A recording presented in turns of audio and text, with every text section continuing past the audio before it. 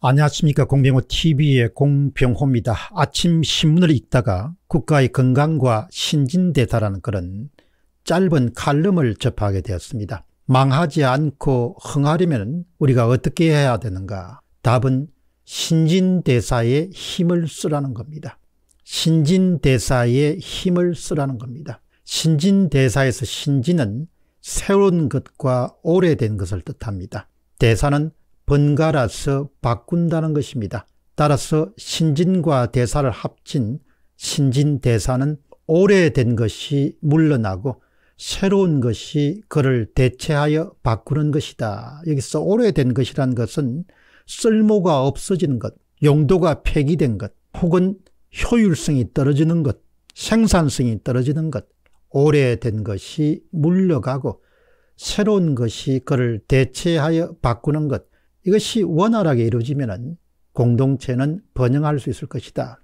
칼럼을 기고한 분은 외교관으로 지내다가 개인 사업을 하고 있는 신상목 씨입니다. 그는 칼럼의 말미에 우리 사회에 주는 조언을 이렇게 정리했습니다. 신진대사는 생명활동의 기초다. 신진대사가 제대로 이루어지지 않는 생물은 생명을 유지할 수 없다. 국가를 생명체에 비유한다면 국가의 건강도 원활한 신진대사에 달려있다. 아주 명료한 답입니다. 한국이 침체를 벗어나서 다시 역동적인 사회로 거듭날 수 있는 그런 비결은 신진대사를 원활히 하라는 겁니다. 돈 뿌려서 다시 회생할 수 없다는 겁니다. 지금 대한민국의 어려움도 결국 이런 이유 저런 이유 이런 명분 저런 명분을 들어서 신진대사를 방해하기 때문에 발생하는 일들이 대부분 대한민국 문제의 중심에 있습니다. 이처럼 진실은 의외로 간단 명료합니다. 신진대사를 원활하게 하라. 그것을 방해하는 것을 제거하라. 그러면 흥할 것이요. 신진대사를 위한 노력을 게을리한다면 그것은 곧 몰락으로 가는 지름길이다.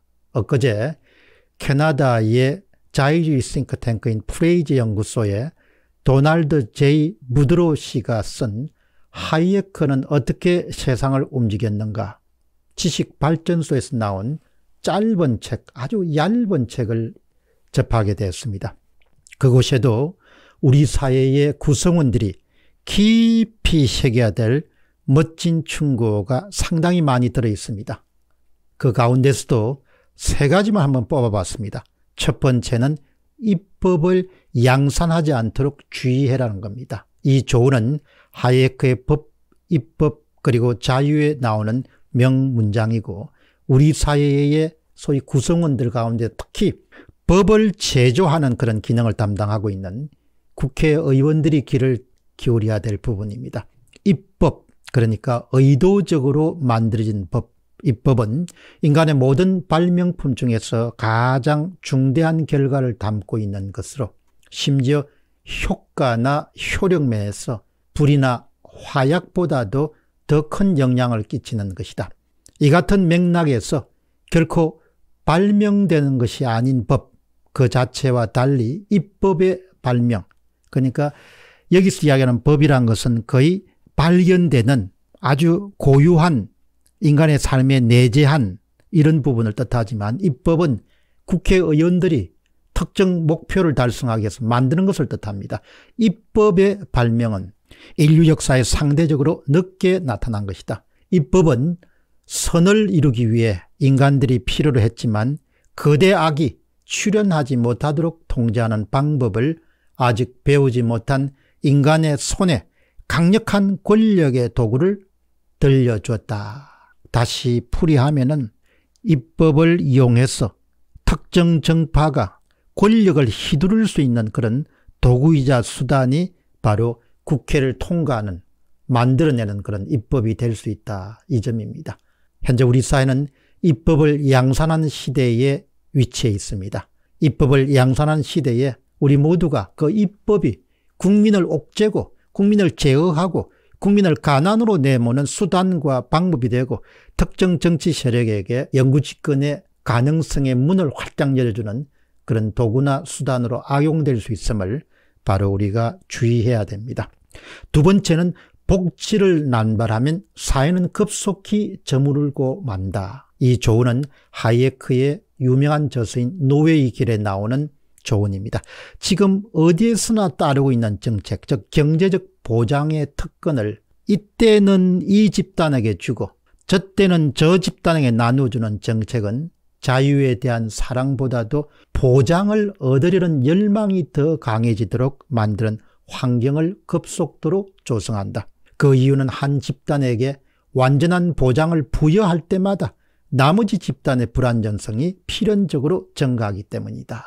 풀었으면 정치 권력이 이 집단에게 이런 혜택을 주고 저 집단에게 저런 혜택을 주기 시작하게 되면 그 사회는 자유에 대한 열망을 가진 사람들보다도 어떻게 하면 국가 재원을 자기에게 유리하게 배분받을 것인가 그것을 하이에크는 보장을 얻으려는 열망이라는 표현을 했습니다. 보장을 얻으려는 열망이 더 강해지도록 만드는 환경을 급속도로 조성한다.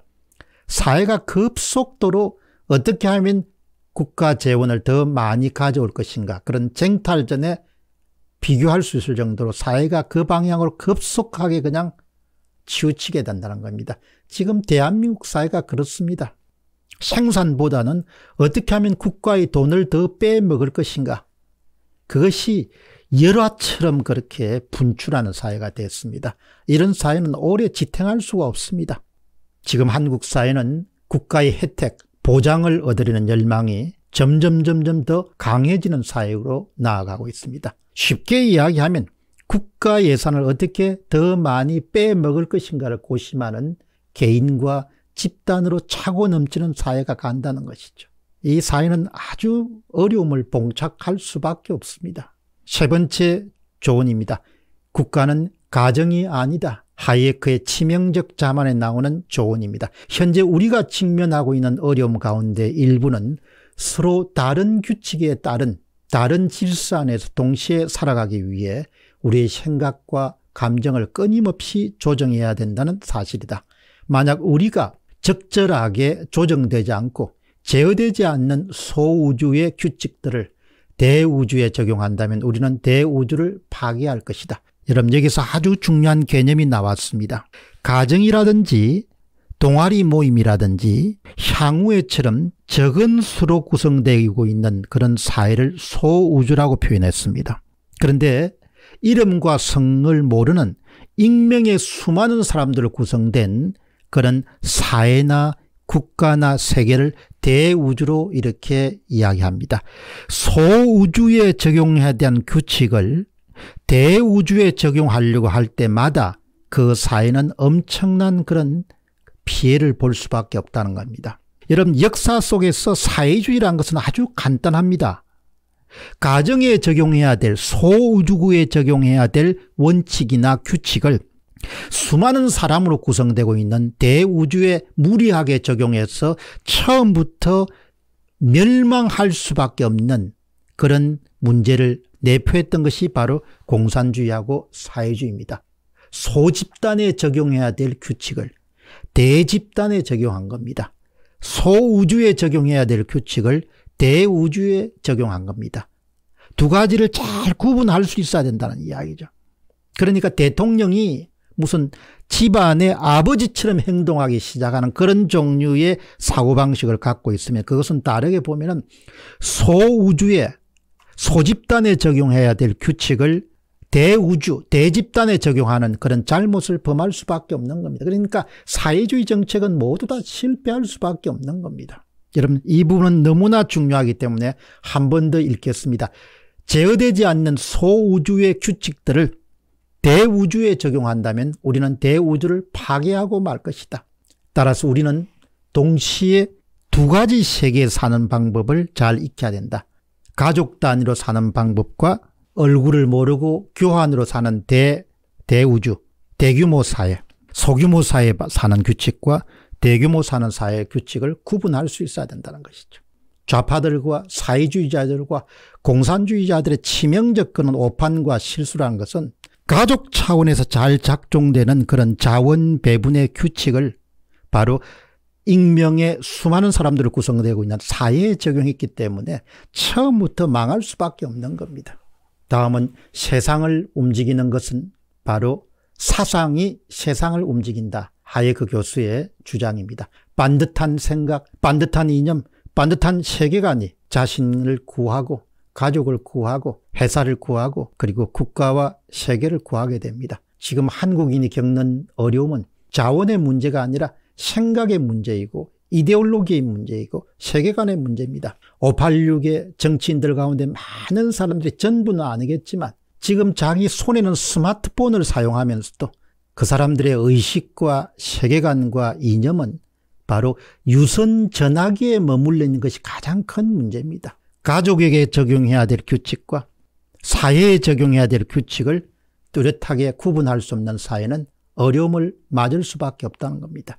소위 자유주의 철학을 공부해야 될 이유입니다. 공병호 TV의 공병호였습니다. 감사합니다.